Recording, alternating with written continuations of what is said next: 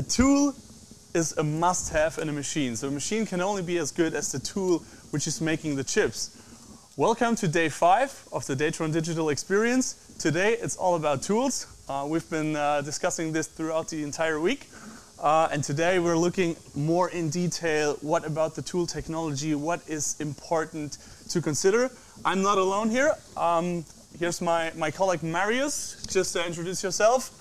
Yes, uh, also for me, hello uh, and welcome to the Datron Experience Days. Uh, Mark said it, uh, today we are looking um, about our tools, development uh, of the tools, what we got it here on last year and uh, this year. And um, we make um, a small program to show you what is the, the yeah, the benefits of the tool and um, yes, how does the tool working. Right, so Marius is, has a very high level of competence in the tool technology, so he works at our tool grinding shop in the development of the tools. Um, so this gives us a lot of insights of what's actually going on. So for people who know Datron a little better, most of the tools that we use are single flute end mills. Uh, those are, yeah, not the most common tool in the entire machining market. And if we take a closer look at um, a single flute cutter, we can look, or we can see, we got this one flute. And the special thing about a Datron single flute cutter is it's balanced. So this is USP from our side. It has a balanced cut because the technology of single flute cutters is by nature that it does not have the center of weight in the center of rotation. So there's always an, an unbalance um, which can cause problems in the milling process. That's why we have this, this, this balance cut.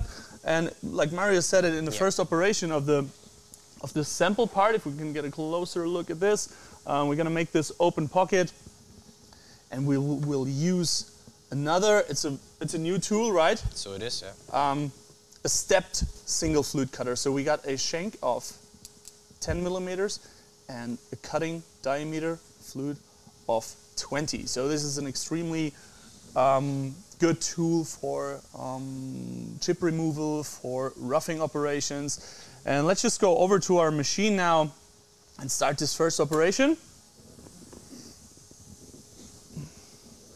So once more, we're at the M8 Cube. We got the tool in the, in the spindle right now. And we're taking quite of a, of a hard and big cut here. So we're going two millimeters depth in a full cut or a 90% step over.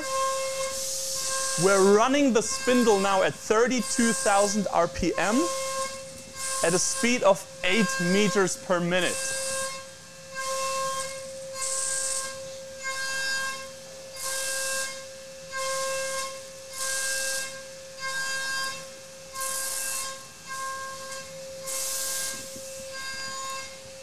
So many people ask, what about coolant? What about how do you cool down the tools? We don't see any flood coolant here. Um, the Datron machines always go with minimum quantity coolant and we use alcohol. So it basically hits the fluid. It has a, a temperature drop of about 10 degree, 20 degrees Celsius when it, when it gets out of the nozzles and then it vaporizes immediately. So it, it's, just, it's just a clean cut. So this is the last operation going on now, just a face milling for the following operations. And then we just take a little break here. Got a tool change. Let's come over to the table again where we can see the next tool that we're going to use. And Marius is about to tell us something about it. So it is. So the next tool we want to show you um, is um, a combination of um, a normal roughing tool and the single flute uh, end mill. So we want to combine the benefits of these two um, tools and uh, yeah, I want to combine that in this one tool. So we uh, call this the Datron Cross Cutter. And um, this is um, the special one of this is that we have just for the, the, the first step of the tool just a normal uh, single flute end mill and um, after that we have um, yeah just a normal roughing tool so um, the benefit of the tool is uh, just uh, have the balance of the single flute one and also have um, the chip breakers that uh, gives us uh, the chance that we have uh, very small chips. So um, yeah. Right, the chip volume is something that we're gonna look at after we've um, we've seen it a lot on the machine. Because if you take a close look now, the chips that this tool makes are extremely short, despite that we use a, um, a dynamic strategy. So um, we're going full, full depth, full flute length, but at the same time, just a very little step over. So we're talking about a five to seven percent step over. And we can see the tools here, they are super short, um, which brings us to um, the chip volume in general, the process stability. Because if you, if you have ever used dynamic strategies like this, you will uh, you probably have faced the problem that you have very long chips that are like piling up and, and getting like like big like even blocks of um, of chips but and the problem can be that it just gets stuck in the machine so that uh, it interrupts your milling process. And there was another reason for the development of these sort of tools. We have a, um, a nice comparison over, which we're going to see after the milling operation, about the volume. So it compares the volume of this cutter compared to a straight end mill.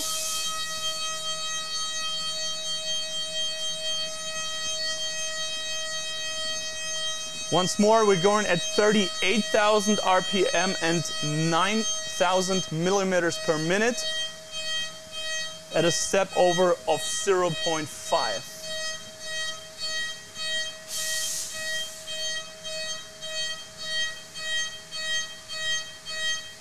Yeah, very dynamic cut here.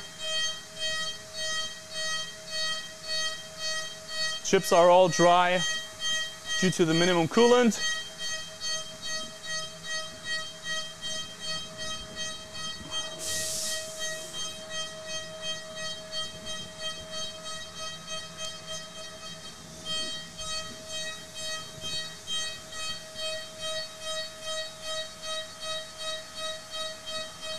Right, so that's just a, yeah, like a bit of a, like a kidney-shaped pocket.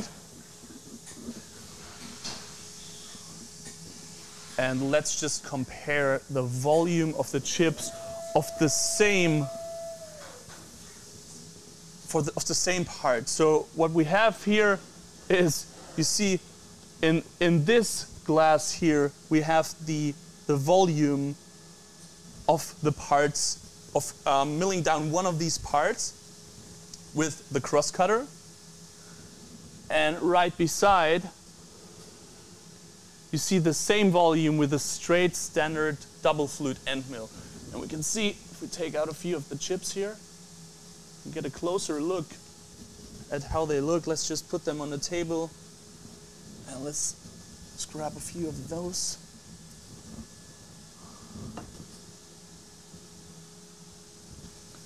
So I think this, this tells the story. Um, so it has multiple benefits. Process stability due to um, the chip length um, and just a higher balance, um, a better, a better run, run out of the spindle. So yeah, just a great tool for roughing operations. Okay, um, next thing we're going to talk about is like kind of micro machining, um, small tools, small features. And once more, let's just wipe the chips away. Um, we have these little slots here. So the, the, the slot width is two millimeters here um, at a depth of four. And it's done with this tool. So it is, yeah. This is also a single flute end mill, so just a smaller dimension. Uh, we've got here a two millimeter end mill, and um, also the benefit um, of uh, a single flute one, we've got it here. So uh, that is, um, yeah, the big chip channel. So we got the chance to bring out the chips very well by uh, also the small uh, diameter of the tool. Yeah, right. That's a pretty essential thing. Um, having a large chip channel because the expansion of an aluminum chip when it's getting cut is quite high, and because aluminum is like a soft material, so it will melt quite early, um, there is always a risk that the chips and the flute get stuck by a melting chip. And you have this behavior when you um, have multiple flute, like a double, triple, or quadruple um, end mill, especially at these, um, at these diameters. Um, let's just quickly run this. Just got to assign a new tool here.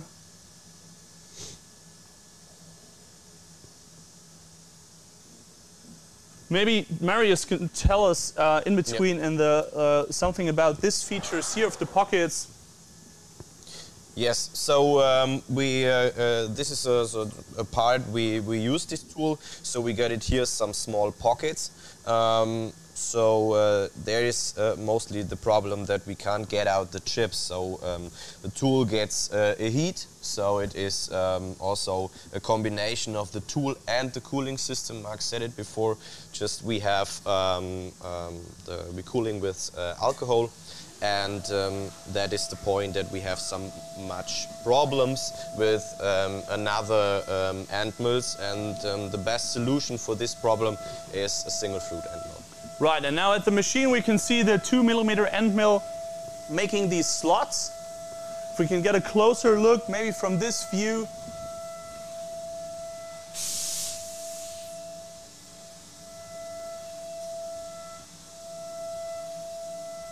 That gives us a pretty good view. So what you can see is we're going down in a constant ramp.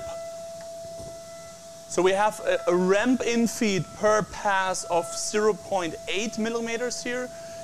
And again, this is another essential, I would say, rule on, on our machine systems and the tools. We go in, we rather go faster with a less or with, with less infeed. So we take a lighter chip, but just try to, to um, benefit from the acceleration of the machines and of the um, of the, the speed and the RPM of the machines.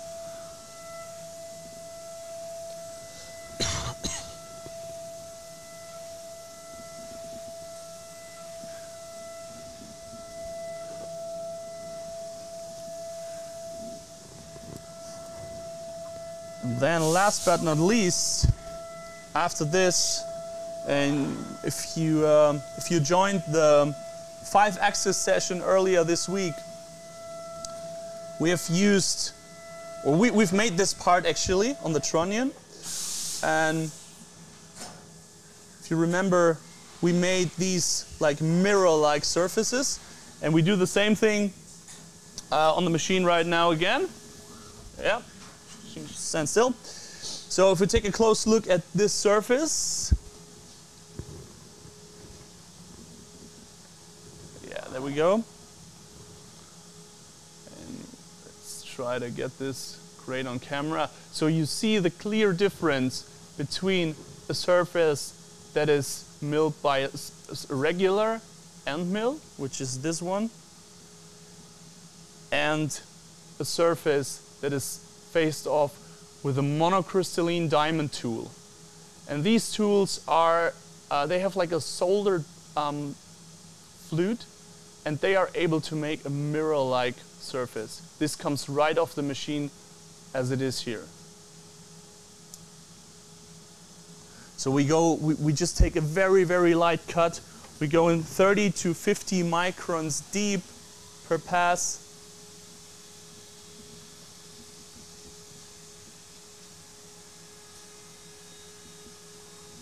Very slow.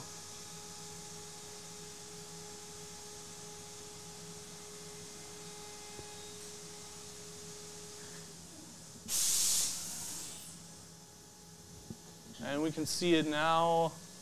It's even hard to hard for the camera to focus on this, um, but we can just take the part out. See that it looks like yeah, that, that's a nice reflection of the of the machine in this surface.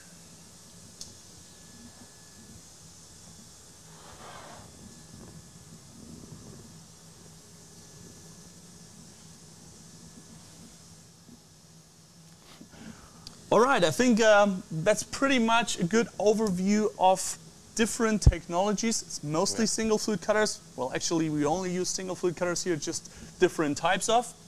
Um, so the tool technology is at least as important as the machine itself, So and the combination, I think, of like Datron, the technology of tools, um, and the machine. So it it's is, just it's unbeaten, right? Yes. All right, that was the last session of the Datron Digital Experience Week. Um, it was a lot of fun for us to do it. Uh, I hope we, we were able to transfer a bit of, of knowledge and insights of, of Datron uh, to all of you. Uh, I'm sure we're gonna, we're gonna make more videos, tutorials in the future. Uh, so thank you for joining in. If you got a feedback for us, we would uh, appreciate that. Um, thank you. Take care.